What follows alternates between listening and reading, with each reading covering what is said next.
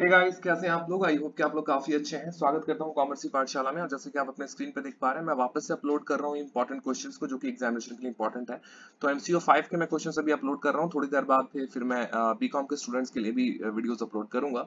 तो अगर video BCom के बच्चे ये वीडियो देख रहे हैं तो थोड़ा सा वेट कीजिए। मैं जल्दी ही आपके जो एग्ज़ाम्स आने वाले हैं, चाहे वो सेकंड ईयर फिर थर्ड ईयर के हों, उनके मैं वीडियोज़ इंपॉर्टेंट क्वेश्चन के मैं अपलोड करने वाला हूँ। ठीक है?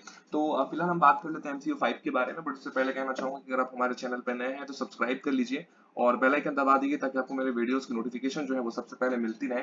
आपको स्क्रीन पे दिख रहा होगा MCO 5 accounting for managerial decision ठीक है? सेकंड ईयर का हमारा ये टॉपिक है। और जो जिनका एडमिशन एमसीओ 5 में आई मीन जो फ़र्स्ट ईयर के फ़र्स्ट सेमेस्टर के जो एग्ज़ाम दे रहे हैं इग्नू एमकॉम के जो फ़र्स्ट ईयर के फ़र्स्ट सेमेस्टर के जो स्टूडेंट्स हैं, उनको भी एमसीओ 5 का पेपर देना है तो उनके लिए भी ये वीडियो इंपॉर्टेंट है।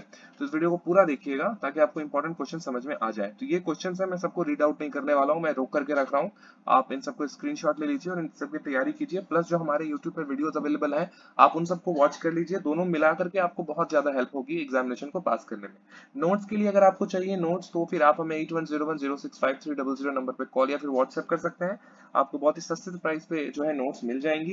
And you will be able to you know secure at least sixty to seventy percent in your examination ठीक है?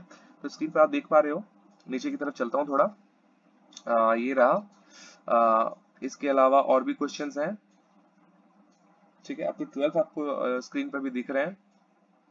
ठीक है? तो ये टोटल क्वेश्चंस हैं जो कि इंपॉर्टेंट हैं अकॉर्डिंग टू अस एंड इसके साथ अगर आप हमारे वीडियोस को वॉच कर लेते हैं, आप आराम से जो है क्वेश्चन यू नो अच्छे मार्क्स आप एग्जामिनेशन में ला सकते हैं। देखो, कई बार ऐसा होता है कि क्वेश्चन सेम टू सेम नहीं आता बट रिलेटेड होता है। ठीक है, मैं आपको क्लियर कट बता दूँ कि अगर आप ये सोच रहे हो कि जो मैं क्वेश्चन दे रहा हूँ, वही सेम टू सेम आपसे एग्जामिनेशन में पूछ लिया जाएगा तो ऐसा बहुत कम होता है। हमेशा ऐसा नहीं होता है। ठीक है ना? एक दो क्वेश्चन कॉमन आ भी सकते हैं, ऐसा नहीं कि नहीं आएँगे। लेकिन फिर भी ज़्यादातर चांसेस होते हैं कि जो क्वेश्चन उन लोगों ने पूछा है, उससे रिलेटेड कुछ क्वेश्चन पूछ लें। तो अगर आप किसी टॉपिक के बारे में आपके पास नॉलेज होगा तो डेफिनेटली आप उस चीज़ को कर पाओगे। तो कोई ज़्यादा दिक्कत आपको वहाँ पे जो है फेस नहीं करनी पड़ेगी। ठीक है? तो मैं चाहूँगा कि आप इसको अच्छे तरीके से करें और it will help you and notes के लिए आप हमें कॉल या फिर व्हाट्सएप कर सकते हैं। मेरे नंबर पे जो कि आपको स्क्रीन पे दिख रहा होगा।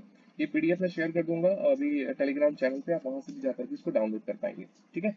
मिलते हैं वीडियो में। अपना ख्याल रखो। Bye thank you